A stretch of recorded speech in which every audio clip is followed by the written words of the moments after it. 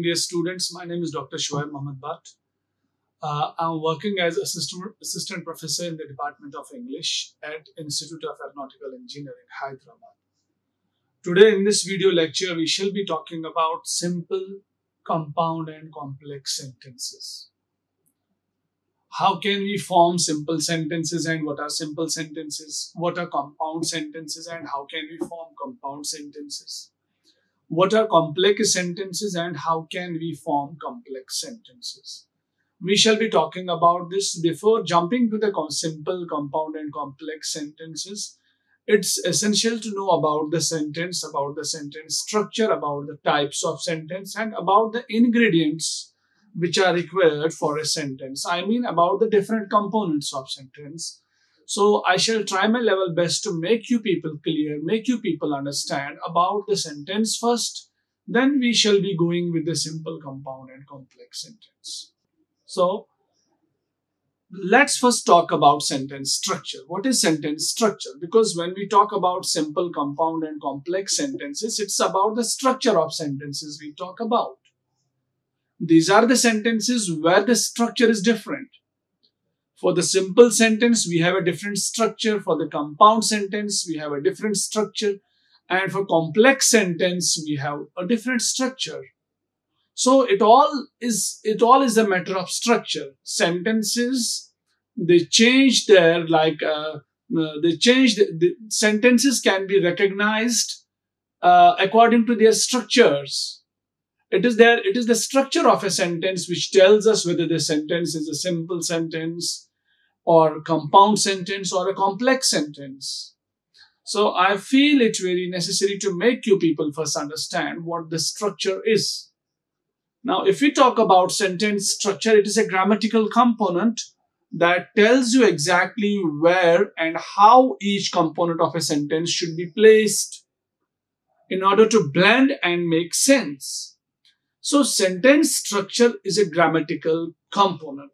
It's not like you are putting subject in the middle or sometimes you start with the gerund or with the uh, with the present participle and you speak like it is your choice how to how to just uh, construct a sentence. It's not like that. Or it's not like you it sounds better to put subject at the beginning and you are putting the subject at the beginning for this reason that it sounds better so this is not, it's not like this. It works with some other intentions. It works according to the rules of grammar. So there is a structure which we called, there is a system which we called as sentence structure. And this sentence structure is bound to the grammar. Sentence structure, it is a grammatical component. It is a grammatical component which tells us exactly where and how each component of a sentence should be placed. It tells us where to place noun, where to place subject, where to place verb, where to place object, where to place conjunction, or where to place these uh, punctuation marks, including comma, semicolon, uh, which we commonly use in the sentences. And it is this sentence structure which tells us where to use different components of sentence. And when we use these different components of a sentence according to grammatical rules, according to the sentence structure, so we can give order to the sentence and the sentence can make a sense. So as we all are aware with the definition of sentence, sentence is a combination of words having complete meaning and complete sense. So this complete meaning and complete sense can only be attained, can only be achieved. A sentence can only give you complete meaning and complete sense when the structure is up to the date, up to mark. When the sentence is following a sentence structure. So, what Collins dictionary says, says about uh, sentence structure, it says it is the grammatical arrangement of words in sentences. It is the grammatical arrangement of words. So we arrange words, we arrange the components of grammar in a sentence by a system which we call as grammar, which we call as sentence structure.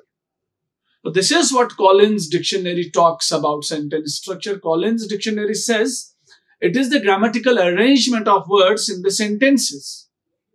In other words, the sentence structure is what, de what defines the way of a sentence will look and sound.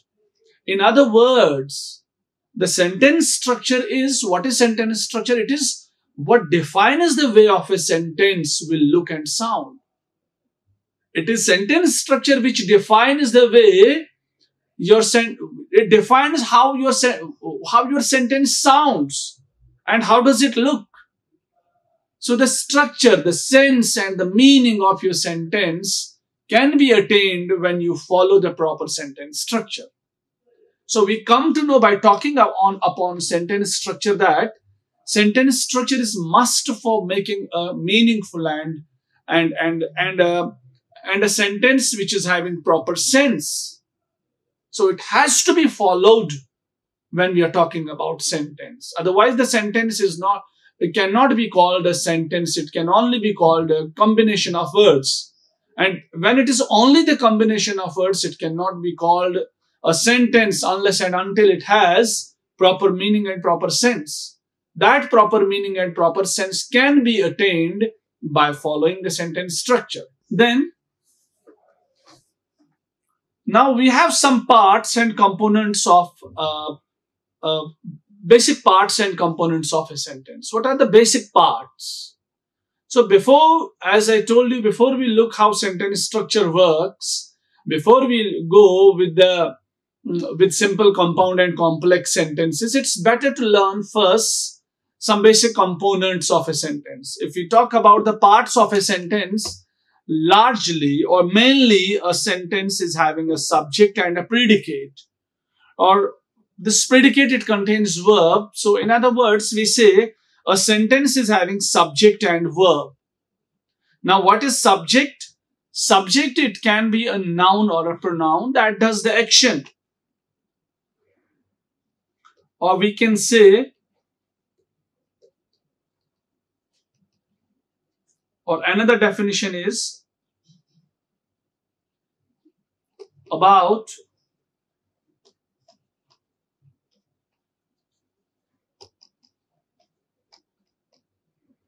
about whom the sentence is. A subject may be a noun or a pronoun and it is the doer of action.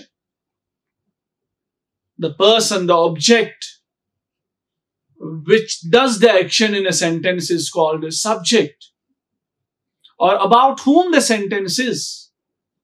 Subject means about whom the sentence is. If it is about this pen, I can say like this, uh, this pen is black in color.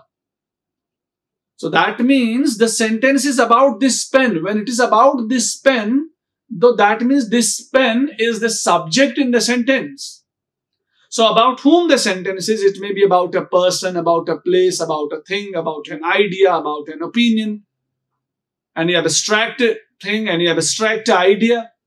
So that all which answers the question like about whom the sentence is forms the subject of a sentence. Like we have the two examples, the sun is shining, the sky is clear.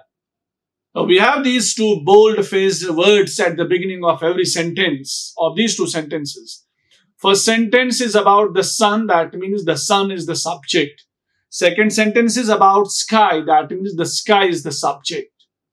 So about whom the sentence is, that is the subject of a sentence.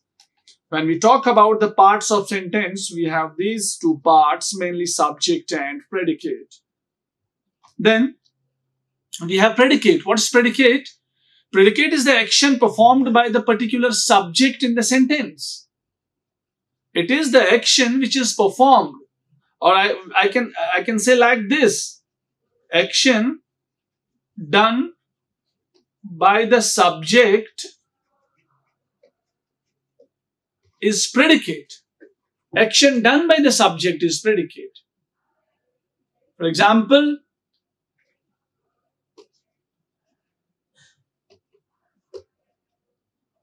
Rahul is going to market. The sentence is about Rahul. So Rahul is subject and he is going to market. This all forms the predicate of the sentence which includes verb and object. So whatever is said about the subject, whatever subject does or whatever is said about the subject, that all is the predicate. The first sentence is I love macaroni and cheese. The sentence is about I. So I is the subject. And what is said about the subject that the subject loves macaroni and cheese. This is predicate. Marin has a pet. The sentence is about Marin. Marin is subject. And what is said about subject? This is this part. It's predicate. Anusha can draw. Anusha is the subject of the sentence and what she can do, she can draw. This is said about the subject. So this is predicate of that, of the sentence. I talked about two different parts of sentence. One is subject and another is predicate. So subject is very simple to remember, very simple to know.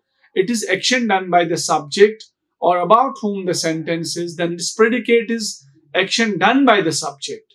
Subject is doer of the action and about whom the sentence is. Predicate is action done by the subject or what is said about the subject that's predicate. Now, let's come to the simple, compound and complex sentences. Now, this is the time to hit upon the simple, compound and complex sentences. In order to understand simple, compound and complex sentences, it's important to know about clauses first. Because when we talk about compound and complex sentences and simple sentence, we need to know about the clause. Because these sentences, they contain clauses in themselves. So it's, it's very essential to first know about the clauses. What's a clause? A clause is a part of a sentence. It's a part of a sentence with a subject and a verb. It can also be a group of words. So clause is a part of a sentence which itself contains subject and verb. So or it can be a group of words having subject and verb. I'd like to give an example. After we finished school, we went home.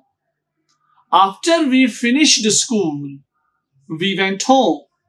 See, there are two, two clauses are there.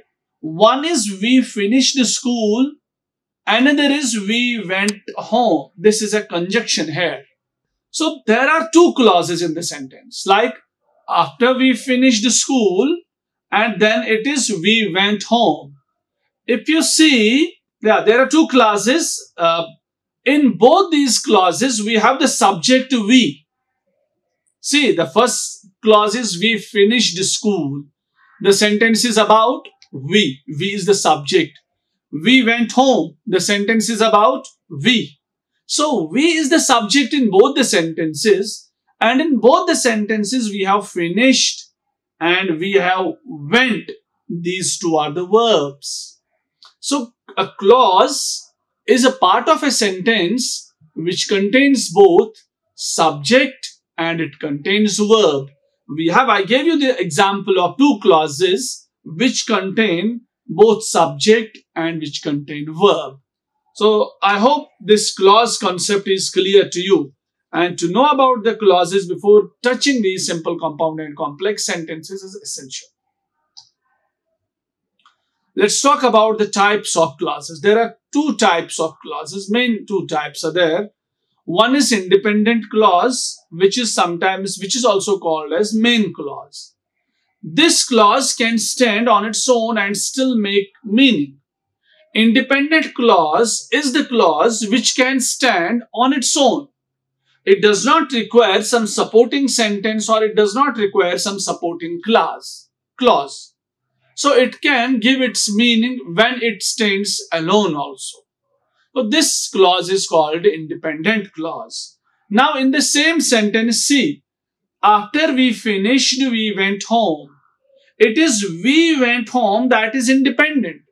If I tell you I went home, you can directly get the get the get the full meaning that sir he went home either yesterday or day before yesterday because When I said uh, went, that is the past tense, past indefinite.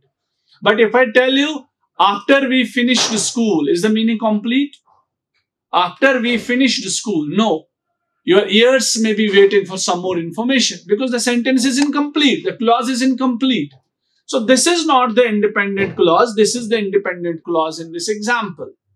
So independent clause is that clause which can stand on its own and can still make meaning. Now dependent clause and subordinate clause. Dependent clause is also called as subordinate clause. This is a clause that cannot exist on its own and give meaning. It cannot exist on its own and it cannot give us complete meaning. It cannot exist on its own. It's incomplete without the dependent clause or it is incomplete without the rest of the sentence. It can only add meaning to the independent clause next to it. It can only add meaning to the independent clause. It is not having the complete meaning. Rather, it adds the meaning of the complete. It adds the meaning of independent clause. So now let's take the same example there is this clause after we finished school, as I told you. It's a dependent clause because it does not give us complete meaning. Does it make any sense if I tell you after we finished school? Or if I tell you after you finish your college? So could you, have you understood anything? So nothing. It cannot be understood. It cannot make sense unless and until it is supported by some other clause that is dependent clause. So depend that is independent. Dependent clause or subordinate clause does not give us complete meaning and it cannot stand on its own. Then, very fascinating thing I want to tell you. Do you know fanboys and wabbits? Because let us see, when we talk about compound, simple, compound and complex sentences. For compound and complex sentences, we need to talk about coordinating conjunctions and subordinating conjunctions.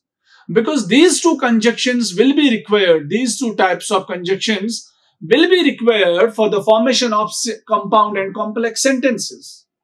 So it is better to know about these, these, two, these two types of conjunctions. We have the first one that's fanboys and the second one is wabbits. They all are conjunctions that are used to connect ideas in a sentence. Let's first talk about fanboys. What's a fan? What are fanboys? These are coordinating conjunctions that connect equally important ideas. They are coordinating conjunctions and they connect equally important ideas, the ideas which are equal, the ideas which make some sense when they are combined to each other. So the prefix co in the coordinating conjunction, the prefix co in coordinating conjunctions, it suggests that two parts are equally important just like two captains of a team are. So co in the coordinating conjunction, it suggests that both the parts of the sentence, they are equally important. So both the parts are equally important. When we use coordinating conjunctions to join two, two clauses, it means both the clauses are important. Like two captains of a team. Then we have wabbits.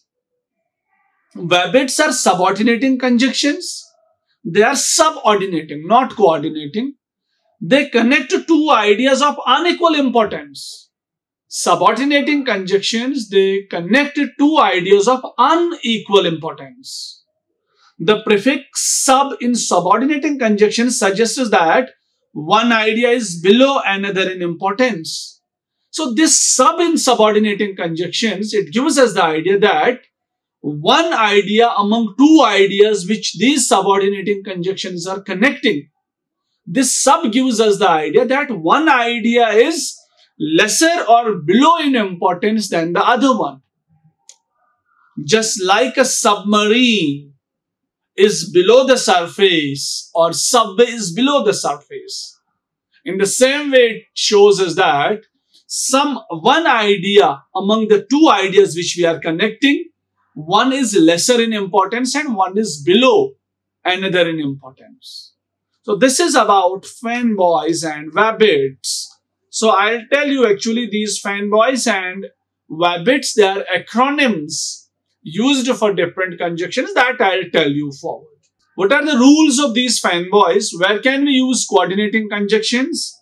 When the fanboys connect two ideas that could each be a sentence of its own, then we put a comma in front of, of the fanboys. When these fanboys connect two ideas that could each be a sentence on its own, when these two ideas, they are sentences on their own, so we need to put a comma before co coordinating conjunction. Then when fanboys do not connect two ideas that could each be a sentence, then we do not put a comma in front of the fanboys. When these fanboys, when these coordinating conjunctions connect two ideas, and these two connect ideas, they are not, they're not full sentences. So there is no need to put comma before coordinating conjunction. Then Wabbits, they also operate under two rules. There are two rules also for subordinating conjunctions. But the two rules are quite different from the above. There are different rules from the coordinating conjunctions. What are the rules for subordinating conjunctions? When the wabbits begin a sentence, then a comma is placed in the middle of sentence. If you begin a sentence with a verbit, with a subordinating conjunction, then comma is placed in the middle of the sentence. When the verbits are in the middle of a sentence, now if these subordinating conjunctions, they occur in the middle of sentence, then a comma is not placed in front of the verbits. So then no need to put comma in front of the subordinating conjunctions. This I'll show you forward with the help of examples. Now let's come to the simple sentence. What's a simple sentence? A simple sentence is a simple statement about casual day-to-day -day matters. Facts, information about something and more. A simple sentence is a simple statement about daily routine, about some matter, about some fact, about some information. It may be some normal information. And another fact about simple sentences is that it has about simple sentence is that it has one verb constituting a single independent clause. It has one verb or it has that makes one independent clause. Or we can say a simple sentence, it has one finite verb. What's a finite verb? Finite verb are the verbs that agree with the subject. They agree with the subject. If the subject is singular, the verb is in the singular form. If the subject is plural, the verb comes in the plural form. So, and they express the mood, tense and number and person in the sentence. So, this is about simple sentence. They express mood, tense. These finite verbs express mood, tense, number and person. Let's go with some definitions of simple sentence. A simple sentence according to Cambridge Dictionary it is a sentence that has only one verb. As I told you, it contains at least one verb, one finite verb. Then Collins Dictionary says it is a sentence consisting of a single main clause. It consists, it is consisting of a single main clause that is dependent, independent clause but not dependent clause. Then I would like to talk about Macmillan Dictionary. Macmillan says a sentence consisting of one independent clause only. It contains one independent clause and it has a subject and verb and often an object or complement and one or more adjuncts. It contains like subject, verb, object also, sometimes complement or an adjunct. I talked about subject, predicate, object, complement, adjunct in the previous class where we talked about parts of sentence and types of sentence. So this is what Macmillan Dictionary says about simple sentence. And sometimes simple sentences have compound structure. Sometimes you will find the structure is compound. And there are four main types of compound structures like sometimes you will see a sentence, simple sentence having compound subject. What's compound subject? It is a subject that has two parts. That has two parts that are often connected with a coordinating conjunction. Sometimes a simple sentence may have two subjects which are which are connected with a coordinating conjunction. That means by a fanboys, by fanboys. Like example, I would like to give you, Philip and John like to study in the morning. So this is a simple sentence. Like uh, Philip and John like to study in the morning. We have a fine, we have a normal verb. So we have single verb there in the sentence but we, when we see we have two subjects, Philip and John, it's not only one subject, it's two. So we call this compound subject. We call this a simple sentence having compound subjects. Philip and John are two separate nouns and when they are connected together by the and, they create a compound subject. Then, sometimes you will see compound verb, simple sentence with compound verb. What's compound verb? It's a verb that has two parts often connected with a coordinating conjunction. You will find a simple sentence with two verbs. Again, they are connected with a coordinating conjunction. For example, Eliza goes to library and studies. There are two verbs. Goes, studies. Now in the example, these two are separate verbs. And when we are having a simple sentence with two separate verbs, we call that compound verb. We call this, this construction of verbs, we call it compound verb. Then compound direct to object. Object is the part of sentence which receives the action. So we have the compound direct to object. Object is having two types, direct and indirect object. Object, we talked it in the previous class. So a noun that receives the action of the verb. Now to find the direct object, you can usually ask who and what. See, there is a there is a sentence. The green dish hit the ground. The green dish hit the ground. Now if I ask you who and if I ask you what, so it is like, what did the dish hit? The dish hit the ground. So the ground here is the object and when the ground is added to the rest of the sentence, it shows where the dish broke, the ground receives the action. So we call it, it the sentence may be like this, the green dish hit or broke. Now if I say the green dish hit the ground, so this is compound direct object of a simple sentence. Then compound prepositional phrase, this is the fourth structure. It is a phrase that begins with a preposition. For example, the boy hits at the man's head.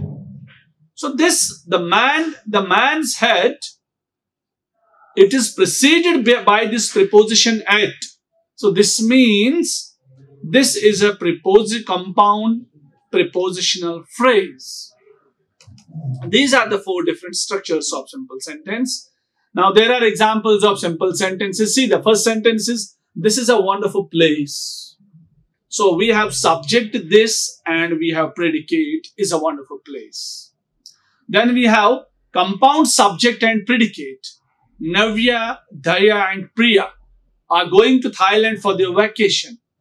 So we have compound subject. It's not one subject, it's more than one. So we call it compound subject. Then we have I was waiting at the park. At the park, so it's prepositional phrase. We have subject, predicate, and at the park is a prepositional phrase. Let's talk about compound sentence, and here we will be talking about fanboys. Compound sentence is the sentence that has two or more independent clauses. It has two or more independent clauses which do not depend on others connected by a coordinating conjunction. It has two independent clauses or two or more independent clauses. They are connected by coordinating conjunctions. And compound sentences make a piece of writing look more sophisticated and informative. This is the function of compound sentences. They make writing more sophisticated and more informative. Fanboys, these coordinating conjunctions, they are fanboys. And fanboy is an acronym for these seven common coordinating conjunctions, where F stands for for, A stands for and, N stands for nor, B stands for but, O stands for or, Y stands for yet, and S stands for so. These seven are coordinating conjunctions which are used for compound sentences. So you get to know that a compound sentence is a sentence which contains two independent clauses or two or more independent clauses. Let's see what different definitions talk about compound sentence, what different sources. Again, as usual, I would like to first take Cambridge Dictionary. Cambridge Dictionary says a sentence made from two independent sentences joined by a sentence which is made up of two independent sentences. As I told you, two independent clauses and it is joined by an, or, or but means coordinating conjunctions. So we call it a compound sentence like Mary read and Tom slept. Mary read and Tom slept. Compound sentence. Then, according to the Macmillan Dictionary, Macmillan Dictionary says a compound sentence is defined as a sentence which is consisting of two or more independent clauses linked by coordinating conjunction. So Macmillan Dictionary, it says the same thing which I discussed with you. Then Collins Dictionary says it is a sentence consisting of two or more independent coordinate clauses. Coordinate clauses where coordinating conjunctions are required this is what Collins Dictionary says. Before we make compound sentences, there are certain rules which we need to keep in our mind. And these certain rules are like when forming a compound sentence, when you form a compound sentence, you have to use coordinating conjunctions to link the independent clauses by conscious and be conscious to the punctuation as well so the first rule is in order to combine these two coordinating, these two uh, clauses, we need to link them with coordinating conjunctions and we need to be very cautious about the punctuation. So given below are the points these the, which we need to keep in our mind. Like remember that compound sentences are a combination of more than one main clause. First thing we need to keep in mind that is a compound sentence is a combination of two or more main clauses. A main clause or an independent clause is a clause that can stand by and pass off a complete meaningful sentence. And I told you main clause or independent clause is a clause which does not require some other other supporting clauses in order to make me in order to give meaning and make sense. So it's complete in meaning and sense. Then rule number second is make sure you are using, you use a comma before the coordinating conjunction that links two independent clauses. So when a coordinating conjunction is linking two main clauses, it should be preceded by a comma. The coordinating conjunctions that can be used to link the clauses in a compound sentences are the coordinating conjunctions. There are seven. fanboys, for and be uh, for and nor, but or yet so. These are seven coordinating conjunctions.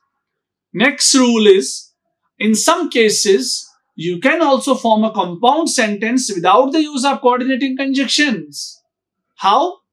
When you do so, when you do so, when you form a coordinating, when you form a compound sentence without the help of coordinating conjunction, you have to place a semicolon in between the two main clauses. So in between the two main clauses, you need to put semicolon. Okay, next. As far as capitalization is concerned, you have to capitalize only the first letter of the first word in the compound sentence. Now, unless you are using proper nouns in the sentence, so then obviously proper nouns, they require capitalizing their first letter. Otherwise, we need only to make the first letter of the sentence capitalize. unless and until we are not using, if we are not using proper nouns. If there occurs any proper noun in between the se sentence, in between compound sentence, the first letter of each comma, this proper noun, should be capitalized. These are certain rules which you need to keep in your mind. Now let's go with the examples. I'm ready to go, but my brother has not reached the home yet. Just focus on the first sentence. I'm ready to go. Does it make complete sense? Yes, it makes, right. I'm ready to go. It makes a complete sense. It has subject, it has verb. I is subject and rest of the part is predicate. Where, where ready is uh, the verb. Then, my brother has not reached the home yet. My brother is the subject. Reached is the main verb. Again, we have another clause. So when the, these two clauses, they are independent clauses. Why? They can stand by their own. They give us complete meaning and complete sense. They give us complete meaning. So when these two main clauses are, are, are combined by coordinating conjunction and coordinating conjunction is followed by comma, we call this sentence as in as compound sentence. So we have independent clause, we have punctuation comma, we have coordinating conjunction but, then we have independent clause, another one. So next is Jerry did not complete his homework, so the teacher punished him. So Jerry did not complete his homework. Independent clause, then so is the coordinating conjunction. The teacher punished him. Independent clause. So and the compound sentence. My brother should drop me or I cannot make it to the reception. My brother should drop me independent clause or is coordinating conjunction. I cannot make it to the reception. I cannot reach to reception if he doesn't drop me. So I cannot make to the reception is another main clause. So when two independent clauses are joined by coordinating conjunction with preceded with a comma, we call that sentence as compound sentence. now we have complex sentence. A complex sentence, it consists of minimum one, in, one dependent clause and one independent clause so now complex sentence has minimum one dependent and minimum one independent clause. They are connected by subordinating conjunctions. That means VABITs. VABIT is the acronym where W stands for when, A stands for after, B stands for because, because, B stands for before, I stands for if, T stands for though, S stands for since. So here we use VABIT, subordinating conjunctions. Let's go with the definitions. Oxford Dictionary says, complex sentence consisting one main part, that is, one main clause of a sentence and one or more other parts called affixes or subordinate clauses. We have one dependent and one independent clause in complex sentence. Collins Dictionary says it says uh, it's a sentence containing at least one main clause and one subordinate clause. Same thing. Then Macmillan Dictionary defines complex sentence. It says it's a sentence consisting of an independent clause and one or more subordinate clauses. It is a sentence where we have one independent and one or more independent clauses. So these are the definitions. Now there are again some points which we need to remember in order to make complex sentences let's look at what all you need to focus on when forming a complex sentence. A complex sentence follows a particular structure. It should have at least one independent clause and one subordinate clause. The first thing to keep in mind is one independent minimum and one subordinate clause. Then, when forming a complex sentence, make sure you use a subordinating conjunction to link them together when you are conduct when you are connecting two uh, clauses when you are making a complex sentence make sure you are connecting these two clauses with the help of subordinating conjunction And if the subordinating conjunction is used in between the two clauses, you need not to use a comma before the conjunction. As we did in the compound sentences, when we connected compound sentences with the help of coordinating conjunctions, we put comma before coordinating conjunction. But this should not be repeated. This should not be done with the coordinating, with the, with the complex sentences. For complex sentences, when we are using subordinating conjunction in the middle of sentence, it does not require comma before it. In case the subordinating conjunction appears in the beginning of a sentence, forming a dependent clause, use a comma, comma uh, after it. So now if you are inserting subordinating conjunction at the beginning of a sentence, now when you form a dependent clause, we should use comma after dependent clause, after subordinate clause. Then, and the rule is, we can also use of relative pronouns to form relative clause, clauses which also, which are also subordinate clauses. Relative clauses when we, when we make them with the help of relative pronouns, they are also subordinate clauses. And that means a sentence with a relative clause and an independent clause can also pass off a complex sentence. That means a relative clause and an independent clause can also make a complex sentence. And when using a relative clause, make sure you enclose them within commas. So relative clause should be kept in commas. They are most extra information about the subject or the object in the sentence because they are mostly extra information about the subject or object in the sentence. Now, let's see complex sentence with a subordinating conjunction in the beginning when it is in the middle. After we finish school, let us go, let us go play in the park. Subordinating conjunctions forming the subordinate clause and independent clause. So let, after we finish school, let us go play, let's go to play in the park. Now, complex sentence with a subordinating conjunction in the middle examples are here. For complex sentences with a subordinating conjunction in the middle, Lata did not finish all the work because she reached home late. See, Lata did not finish, finish all the work because she reached home late. So we have here one independent clause and we have one dependent clause like this. She reached home late. So we do not know why she reached home late. So this clause is dependent clause is dep it depends upon the independent clause. This clause it completes the meaning of main clause with the help of subordinating conjunction. So when we are making a complex sentence, when the subordinating conjunction is used in the middle, we do not use comma in front of this conjunction. So we call this complex sentence.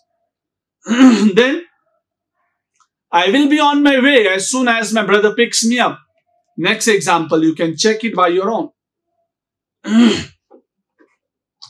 then complex sentence with a relative clause as the dependent clause with a relative clause. My brother who completed his mechanical engineering is not working at this company, is now working at this company. We have this relative clause who completed his mechanical engineering. I put it in the comma, here is one comma, here is one comma, because it's extra information about the subject, my brother. So this forms, a, this is a relative clause and relative clause is itself considered as an, as a dependent clause. So we can also form complex sentence without the help of these VABITs, without the help of subordinating conjunctions, with the help of relative clause when we place relative clause. So then the hotel where we had our farewell dinner is being shut. This is another example. I would like you to go with the example by your own.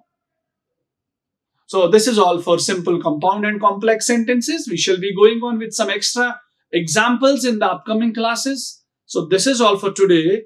Uh, I would like to stop here. Thank you. Thank you for listening me carefully. Thank you. Like, share and subscribe. Hit the bell icon for more updates.